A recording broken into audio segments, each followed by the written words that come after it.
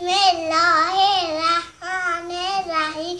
والعصر ان الانسان لفی خود الا الذین آمنوا. و بل الصالحات و تواصوا بالحق و تواصوا